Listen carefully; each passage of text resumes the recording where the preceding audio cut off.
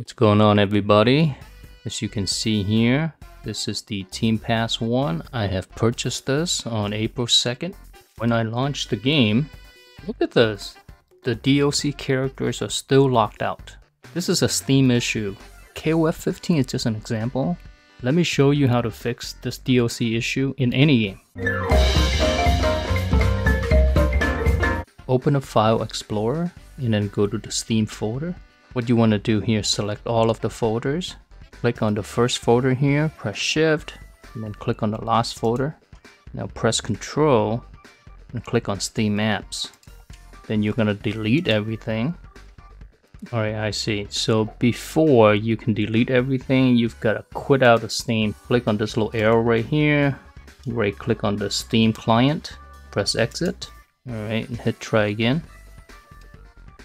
There we are like there's some more folders. We're gonna delete those as well. So make sure the only folder left is the Steam Apps folder. Now double click on steam.exe.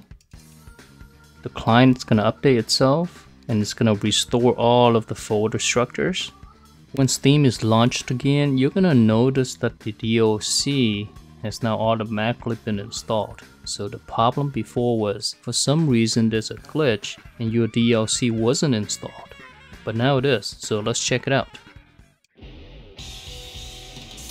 And what do you know? Look at this. We got Rock Howard, B. Jenet, Gato. I think that's how you pronounce their names.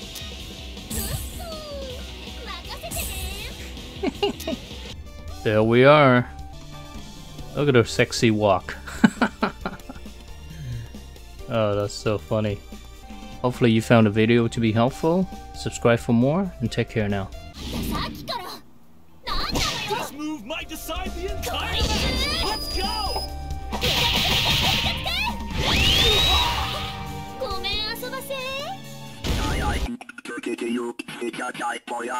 Naja, Modu, Naja, Juk, Juk, Dein,